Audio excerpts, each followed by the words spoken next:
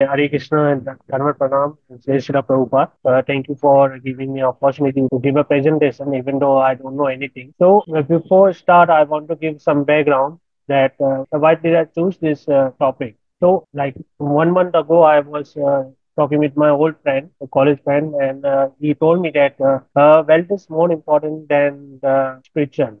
So to keep it, keep that conversation in mind, I prepared this presentation. So as we know, the topic is the illusion of material wealth and the part two, true happiness, inspired by the Prabhupada teaching. So on the cover photo, we can see the uh, happiness is uh, saying that you can't buy me and money is saying I can buy anything. So they are both challenging each other. So we will go to the uh, presentation and see which uh, who is uh, superior and who is a winner. So introduction. So the main topic that we know that uh, we have to understand that uh, limitation of uh, material wealth and uh, what is uh, true happiness. We will go to this presentation and uh, psychological way we, we will conduct. We will see how it is important in not our, in our devotees' life and even the material people life. It is important to know limitation of this material wealth. So first point is what is the nature of material wealth. So obviously we all need money, right?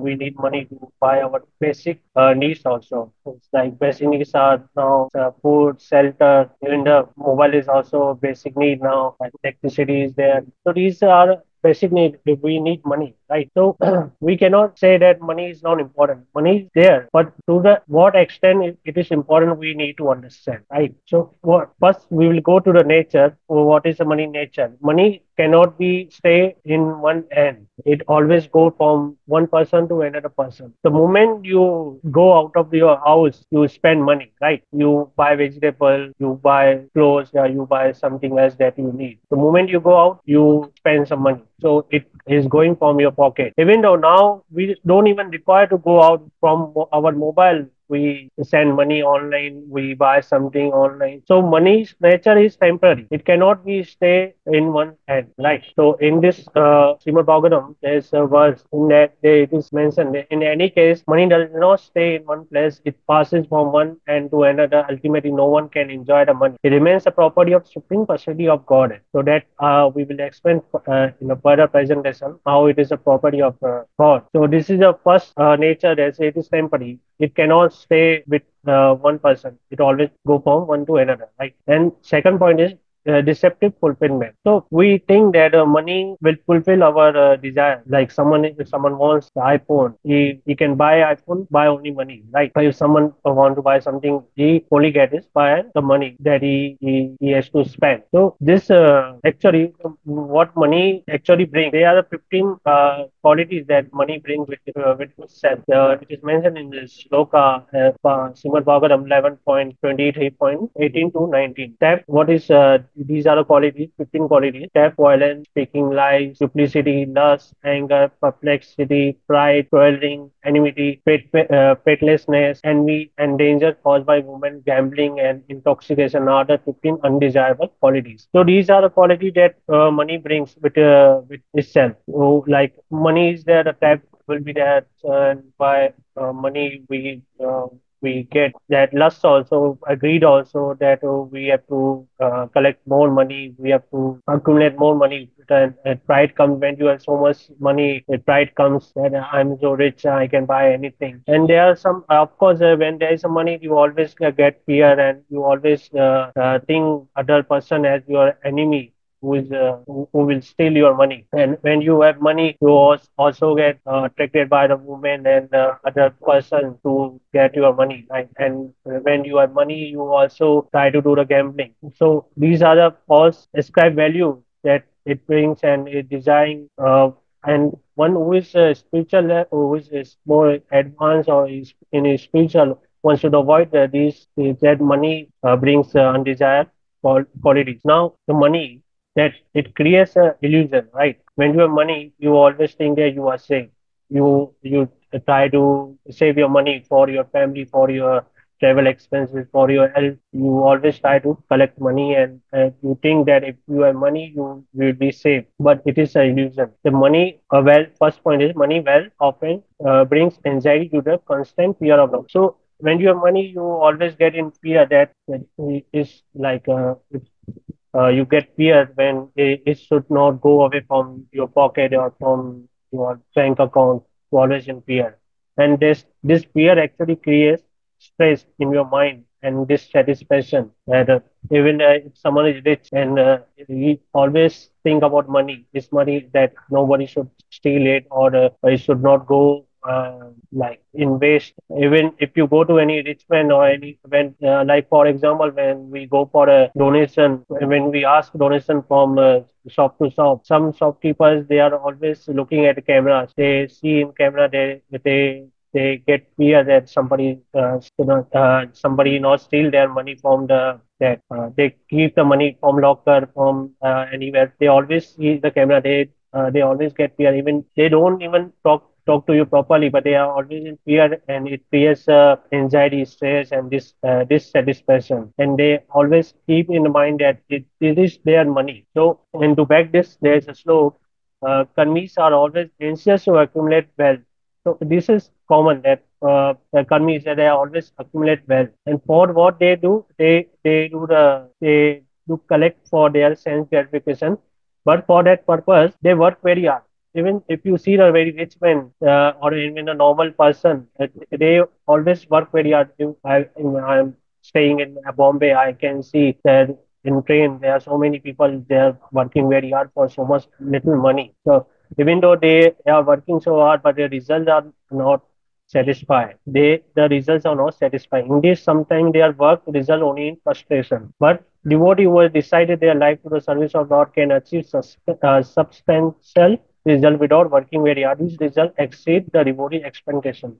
So uh, this in this close look there we we can see how karmis are always anxious to accumulate well and when uh, they do it for sense gratification and they don't even get uh, satisfied from it. And in the other side, we can see devotee is not even earning money with a, especially devotee or full time. They are not uh, doing job outside job. They are just doing a service to the God and they get supplied uh, by God every day, right? So uh, they talk about that that uh, money that brings a uh, material happiness. Uh, that is, uh, they call the happiness, so-called happiness. They call it. So, what is that material happiness? Uh, is explained by uh, Prahlad Maharaj, Srimad uh, seven point nine point twenty-five.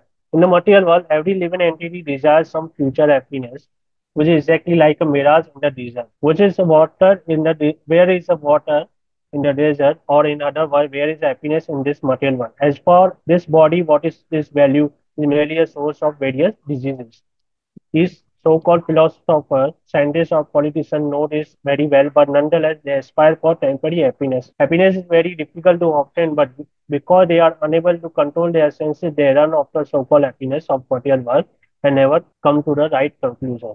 So from this sloka, we can learn how happiness, material happiness, is like uh, is just like mirage in the desert. So we always see that this. They say that uh, they say uh, like it is better to cry in Ferrari uh, no, than to cry on cycle, right? So they say like that. They they, they think that this is uh, actually happiness, but uh, uh, we can see this just like a mirage. Once uh, your body get destroyed, your money also get destroyed. Uh, you cannot uh, bring your money to uh, after that. You cannot bring that money. So this money is just like that. It's just ready to go away. So what actually is a the true happiness that we need to understand. So, so Prabhupada is saying happiness is found in spiritual practice and devotion, not in material accumulation. Like just like material accumulation, uh, that you, know, you want to buy house, you want to buy properties, you want to buy uh, new clothes, new electronics, and all, and you think that happiness uh, bring from, but from that you get more desire to accumulate more. Once you buy some uh, electronic, then you will buy to uh, new more things. So it uh, it never go uh, com- you never go satisfied. You always desire for more. So the main uh, happiness is found in spiritual practice and devotion. That is uh, Prabhupada saying. And uh, how can we find uh, this happiness? Is uh, also explained in Bhagavad Gita 2.66. One who is not connected with Supreme in Krishna consciousness can can have neither transcendental intelligence or a steady mind, without which there is no possibility of peace. And how can there be any happiness without peace? Right. So we we once uh, like who is not connected with God, he cannot uh, have uh, intelligent or steady mind. And uh, without this peace, how can there be happiness? He, he always he will think about other things. He will uh, think about more that he wants to buy from the uh, wealth, from his money. So he can he never be in peace. Even though some rich people they have so much money, but at night they have problem to sleep. Why? Because of that money only they they they cannot sleep. So how is uh, able to be happy in this condition, right? So what is the path to true happiness? So uh, first, uh, for understanding that, we need to know who, who we are. So yeah, of course, uh, with money you can comfort your body, but you, uh, you which you are really are is the soul. You you are not body because body will destroy will get destroyed at the end we will die. But who will go? Uh, who who will go to next birth is soul. It, it is just like uh, that one example is there that bird, uh, bird and cage. So we our body is just like a cage and soul is a, a parrot or bird in the cage that we can see in the picture. So how much uh, you give your body, but if you do not give uh, anything to your soul, then you cannot be satisfied, you cannot be in peace, and uh, at last you won't be have any happiness. So, from if, like in this example, this uh, lady is uh, taking care of a parrot, but uh, but he, he she is giving everything to the parrot, nice cage, nice uh, uh, nice uh, like environment. But if you do not give the food to a parrot, parrot eventually get die. The same thing is with uh, our uh, with ourselves. Then how much uh, how much we will give to uh, our body, but uh, what we are not giving to our soul, we will not be in any satis- uh, any peaceful mind or happiness. So in our main uh, our focus is misplaced just like we always take care of the body, neglecting uh, soul to happiness come from spiritual nourishment, not material comfort. So to back this, there is a sloka.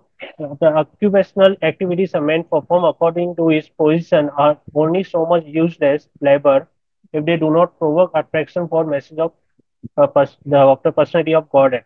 So, like in previous slide, we, we understood who is not connected with God, he cannot be have any peace or happiness. Right. So, whatever we do in our activity, whatever we do, job or uh, study or anything, is useless unless uh, we get attraction for the God.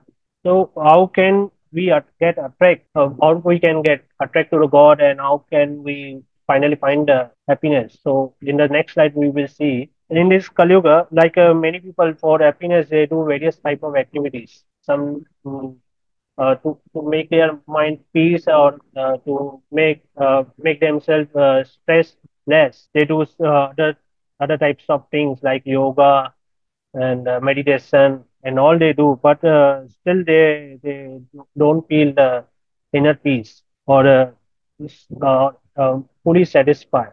So in Kali Yuga, uh, Chaitanya Mahaprabhu has uh, recommend that uh, you just do uh, do you do chanting and hearing. He also quoted this uh, was Hare Nama Hare Nama Hare Nama Eva Kevalam Kalau Nase Eva Nase Eva Nase Eva Gati Anatya. So there's no other uh, uh, like in, in this age of quarrel and hypocrisy, the only means of deliverance is the chanting of holy name of the Lord. There is no other way. There is no other way. There is no other way. So three times it is mentioned there is no other way. Right. So it must be important.